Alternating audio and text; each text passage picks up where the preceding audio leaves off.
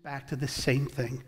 There has to be a miracle of saving grace. It only comes through the Messiah, Jesus the Christ. I am the way, the truth, and the life. No one comes to the Father except through me as Christ, as Lord, as Savior.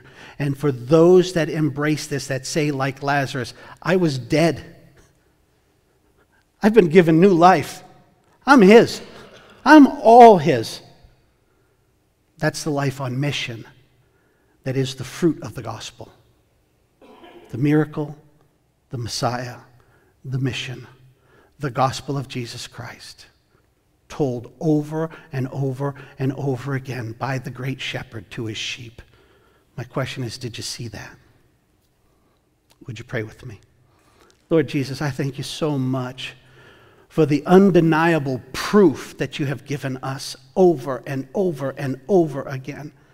And I thank you, Lord, first for giving me eyes to see, that you would reach into the stone dead heart that was me and give me life.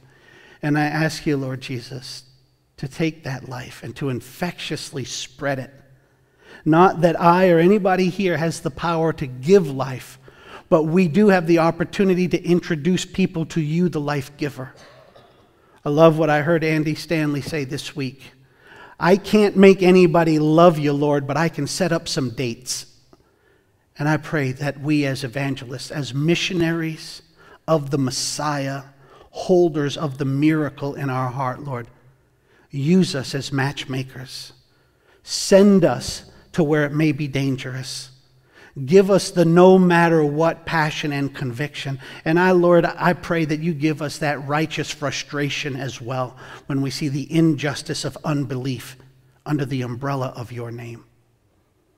All the while, Lord, keep us humble. Keep us humble. Forgive us for our hypocrisy.